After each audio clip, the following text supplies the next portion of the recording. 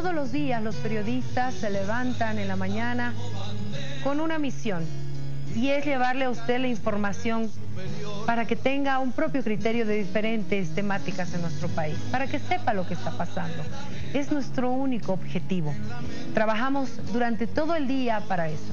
Pero hay periodistas que trabajan en la noche mientras usted duerme.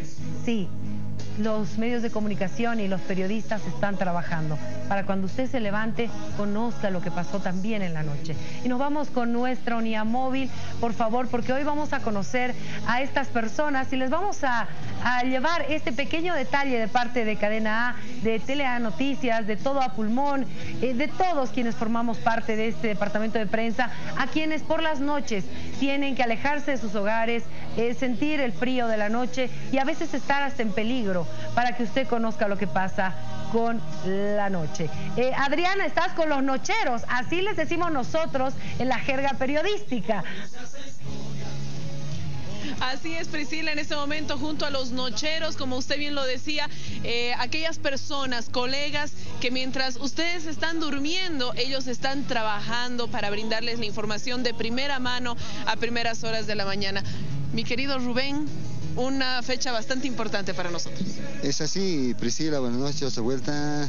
Eh, estamos eh, festejando este 10 de mayo, ya el Día del Periodista, y bueno, compartiendo lo, que vamos a compartir minutos nada más. Eh, los periodistas nocheros, algunos no han podido venir por la apretada agenda que también cubrimos en la noche. Grover también, parte del equipo de los nocheros. Claro, buenas noches Priscila, buenas noches a todo el país. aquí, ¿no? Cubriendo en la noche para dar la información al día siguiente, ¿no? Siempre al pie del cañón, como quien dice. Robert, eh, Rubén, coméntenos alguna experiencia, eh, bueno, en estas, en estas coberturas que hayan tenido en las noches. A ver, ¿qué es lo que más recuerda Rubén, que, lo que más le haya, impactado? Bueno, lo que, que, siempre nosotros tropezamos con las largas jornadas que a veces nos, nos toca vivir es el caso de, las reuniones, de los diálogos que se instalan casi al final de la tarde y terminan hasta altas horas de la madrugada. Eso, esos temas y esos, eh, eh, esas noticias que nos toca cubrir, especialmente a los nocheros, eh, nos, un poquito nos, nos hace esforzarnos para que la población tenga las noticias a primera hora. Grover, ¿qué experiencia puede compartir con nosotros? Bueno, a mí una anécdota la que más me tocó vivir ha sido el incendio de la, del cisterna de alcohol en Huancoyo, ¿no? Cuando se han, se, se han incinerado totalmente los vehículos, personas, ¿no? Estuvimos allí hasta altas horas de la madrugada para, para traer la información, ¿no? Al, al televidente. Esa sería mi anécdota de ¿Recomendaciones para los colegas? Bueno, en la noche especialmente cuidado, hay que tener cuidado con, los equipos, eh, cuidado con las personas, tal vez algunas personas cuando se portan linchamientos, especialmente en el alto, hay que ir con cuidado, eh, tenemos que ir entre varios ¿no? para cubrir esa noticia.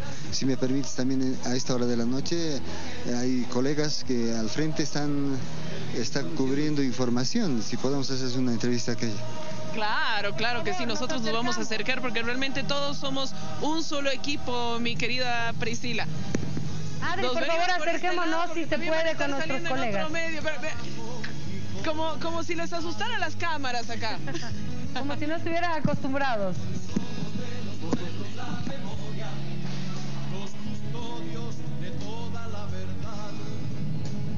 Día del periodista en Bolivia, mañana amigos, de verdad queríamos reflejarles un poquito lo que hacen los periodistas de la noche, los nocheros, como nosotros les decimos con mucho cariño y mucho respeto, a quienes les toca pasar por las calles, ir a los lugares donde a veces hay mucho peligro, dejando a sus familias durmiendo en casa para cubrir la noticia, que al día siguiente usted muy tempranito puede compartirla en diferentes eh, medios de comunicación, en el caso de nosotros en Levántate Bolivia. ¿Con quién estamos, Adri? Bueno, en este momento estamos con Juan, ¿no es cierto, Rubén? Un colega periodista, Juan Flores. Juan Flores, ¿qué nos puedes comentar de este, eh, del trabajo que te ha tocado vivir? ¿Cuál es la principal anécdota en estos años ya de trabajo periodístico? Uh, son varios, eh, muchos hechos delictivos, violentos, más que todo en el alto, ¿no? Son hechos que te marcan el trabajo. Priscila, ¿alguna consulta? Sí, no sé si me está escuchando él. ¿Sí?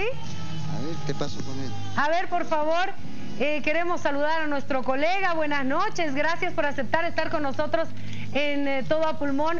Sé que tienen mucho trabajo en la noche, es arduo y de verdad hay, hay momentos muy difíciles en la noche, ¿verdad?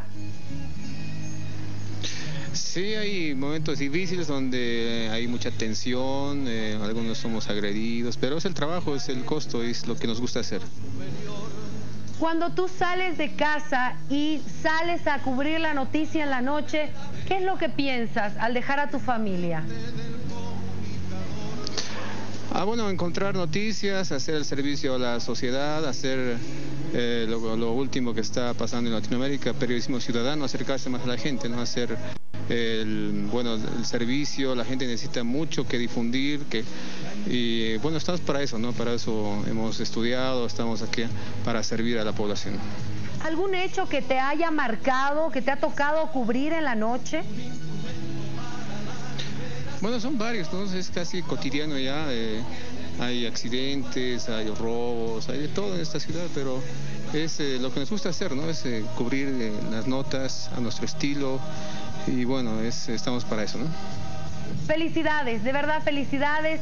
Eh, les dejamos esta torta a nombre de todo a pulmón para nuestros compañeros y colegas nocheros. Un reconocimiento al trabajo que hacen, sacrificado en horas de la noche, resistiendo las bajas temperaturas también que se tienen. Muchísimas gracias, felicidades a todos ustedes. Felicidades Rubén, a Grover, a todos los colegas de la noche.